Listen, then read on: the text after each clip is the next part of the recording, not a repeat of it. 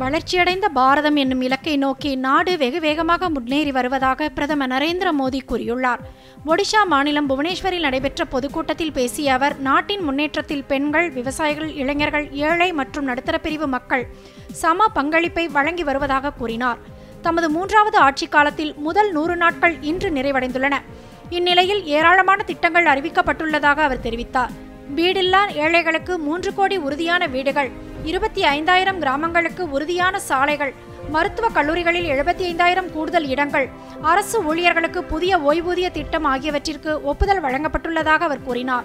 நாடு வளர்ச்சியடைவதை தடுத்து நிறுத்த வன்முறையையும் வெறுப்புணர்வையும் தூண்டிவிடும் சக்திகளிடமிருந்து மக்கள் விலகி நிற்க வேண்டுமென்று பிரதமர் கேட்டுக்கொண்டார்.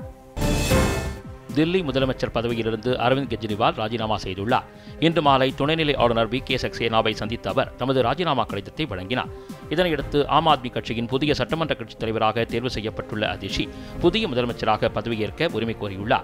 முன்னதாக தில்லியில் இன்று நடைபெற்ற ஆம் ஆத்மி கட்சியின் சட்டப்பேரவை உறுப்பினர்கள் கூட்டத்தில் புதிய தலைவராக அதிஷி ஒருமனதாக தேர்வு செய்யப்பட்டார். கெஜ்ரிவால் அமைச்சரவையில் கல்வி பொதுப்பணித்துறை உள்ளிட்ட பல பொறுப்புகளை அதிஷி வகித்து வந்தார். ஆக்ஸ்போர்ட் பல்கலைக்கழக முன்னாள் மாணவரான அதிஷி கல்காஜி தொகுதியின் எம்எல்ஏ ஆவார். மதுபான கொள்கை வழக்கில் துணை முதலமைச்சராக இருந்த மணீஷ் சிசோடியா கைது செய்யப்பட்ட பிறகு அதிஷி அமைச்சராக பதவியேற்றார்.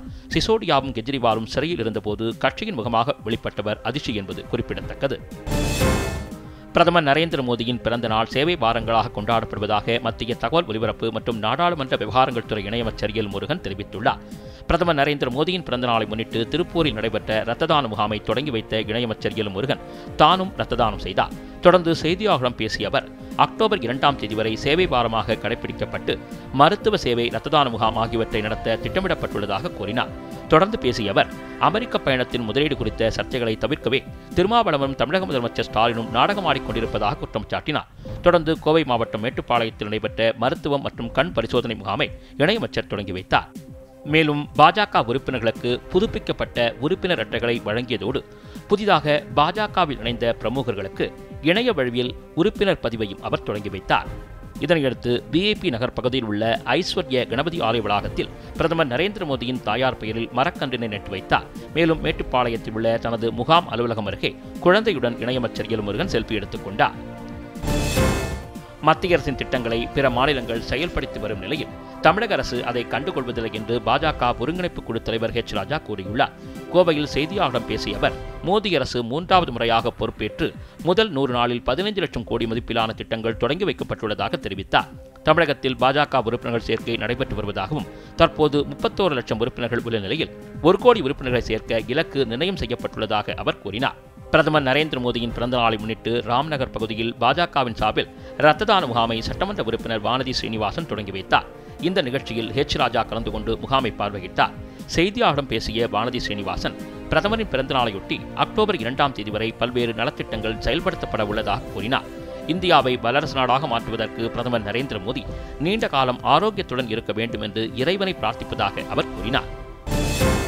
பிரதமர் நரேந்திர மோடியின் எழுபத்தி நான்காவது பிறந்த நாளை முன்னிட்டு ஒவ்வொரு நிர்வாகியும் எழுபத்தி நான்கு உறுப்பினர்களை சேர்க்கும் பணி தொடங்கியுள்ளதாக பாஜக மூத்த தலைவர் தமிழிசை சவுந்தரராஜன் கூறியுள்ளார். பாஜக தலைமை அலுவலகமான கமலாலயத்தில் பிரதமரின் பிறந்த நாளை கொண்டாடிய பிறகு செய்தியாளர்களிடம் பேசிய அவர் உலகத்திலேயே சிறந்த துறைமுகமாக தூத்துக்குடி துறைமுகத்தை மத்திய அரசு உருவாக்கியுள்ளது என்று கூறினார். ஆனால் மத்திய அரசு தமிழகத்திற்கு பாரபட்சம் காட்டுவதாக தமிழக அரசு தவறான தகவல்களை பரப்பி குறை கூறி வருவதாக தெரிவித்த அவர் சிறுத்தை போல இருந்த திருமாவளவன் முதலமைச்சரை சந்தித்த பிறகு சிரித்து போயிருப்பதாக கூறினார்.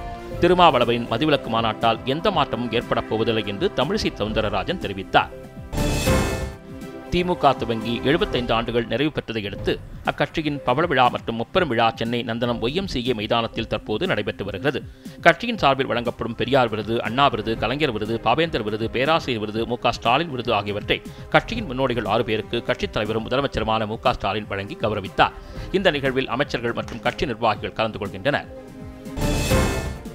திமுக பழவிழா மேடையில் தமிழகத்தின் சாதிவாரி கணக்கெடுப்பு நடத்தப்படும் என்று முதல்வர் மு ஸ்டாலின் அறிவிக்க வேண்டும் என பாமக தலைவர் அன்புமணி ராமதாஸ் வலியுறுத்தியுள்ளார். விழுப்புரம் மாவட்டம் தைலாபுரம் தோட்டத்தில் வைக்கப்பட்டுள்ள தந்தை பெரியார் சிலைக்கு பாமக நிறுவனர் ராமதாஸ் தலைவர் அன்புமணி ராமதாஸ் ஆகியோர் மலர்தூவி மரியாதை செய்தனர்.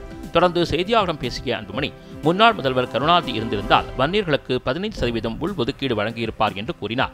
மேலும் சமூக நீதி பற்றி பேசும் முதலமைச்சர் மு ஸ்டாலினுக்கு சாதிவாரி கணக்கெடுப்பு குறித்து துளியும் அக்கறையில்லை என்று தெரிவித்தார்.